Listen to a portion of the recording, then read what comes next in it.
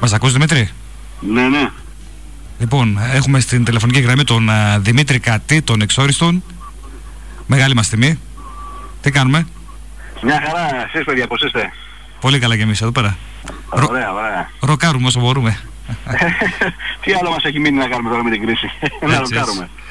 Λοιπόν, Δημήτρης Κατής, με την εκπομπή Metalmania, που έχει μείνει σε πολλούς, ως uh, μια γλυκιά ανάμνηση τότε που η κρατική τηλεόραση πραγματικά είχε τα κότσια να παίξει τέτοιες εκπομπές και τέτοια μουσική. Συμφωνείς; Ε, πάνε πολλά χρόνια από τότε και πραγματικά και εγώ αναρωτιέμαι πώς, πώς έγινε αυτό το, το θαύμα σε εισαγωγικά αν θέλεις ε, και η κρατική τηλεόραση έπαιξε τότε heavy metal. Και δεν ήσουν μονάχας εσύ, ήταν και ο Στάθης έτσι, ο Παναγιώτοπουλος, ε, ε, στην E3. Το ναι, ήταν, ναι, βέβαια, ασφαλώς, ασφαλώς. Τώρα άντε να ακούσεις ε, ούτε καλά καλά ροκ δεν ακούς. Τώρα δεν υπάρχει, έχουν παρεξηγήσει τώρα και τον, και τον όρο ροκ. Είναι, τα νέα παιδιά δεν ξέρουν ακριβώς και τι είναι ροκ. Έτσι. Μάλιστα. Και από ό,τι μαθαίνουμε και έχουμε διαβάσει, ε, ετοιμάζεται μια δυναμική επιστροφή. Ε, ναι, έχετε διαβάσει σωστά. Στις 30 ε, Απριλίου ε, κάνουμε την πρώτη εμφάνιση, ε, την επιστροφή όπως ακριβώς την είπες, στην, ε, στο, στο κλαμπ Σφεντόνα στην Αθήνα, 30 Απριλίου. Και στη συνέχεια πιστεύω έπεται συνέχεια πανελλαδικά. Έτσι.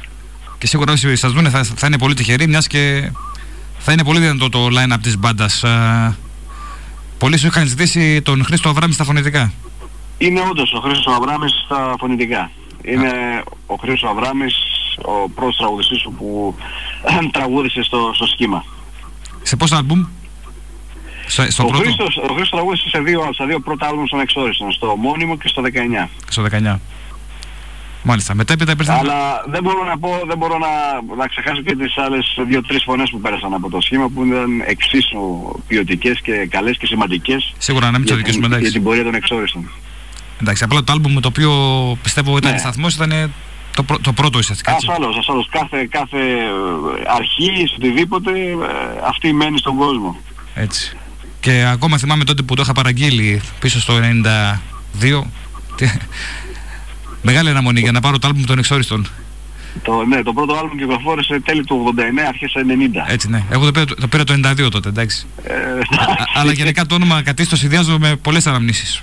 Και, ναι, λέω, ναι. και με τη Metalmania που πραγματικά έχω ακόμα κασέτες γραμμένες, ξέρεις, με βίντεο. Μας ακούς; Κοίταξε, ήταν, ήταν η ίδια εποχή, Metalmania και εξόριστη και πολλοί κόσμος τα έχει συνδυάσει μαζί αυτά τα δύο. Mm-hmm. Μάλιστα. Λοιπόν, ε, πότε είπες ότι είναι η πρώτη σας συναυλία σαν η, πρω, η πρώτη εμφάνιση με, το, με την επιστροφή όπως είπες και το καινούριο σχήμα είναι 30 Απριλίου στο, στο κλαμπ Σφεντόνα. Κλαμπ Σφεντόνα. Στην, στην Αθήνα στο κέντρο. Mm-hmm.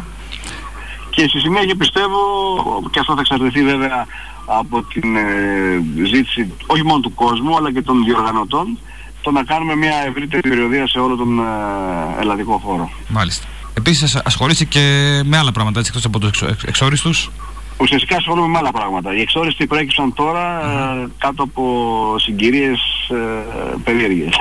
Αυτό θέλω να πω, ναι, όντως. Ε, στην Αμερική που βρίσκεσαι; Ναι, είμαι περίπου 7 με 8 μήνες το χρόνο είμαι στην Αμερική. Ε, ουσιαστικά εκεί είναι η, η έδρα μου, αν θέλεις, όσον αφορά την ε, επαγγελματική μου ως συνθέτης. Ναι, ναι. Και σίγουρα από ό,τι ξέρω κάνεις καλή δουλειά, έτσι, σαν συνθέτης.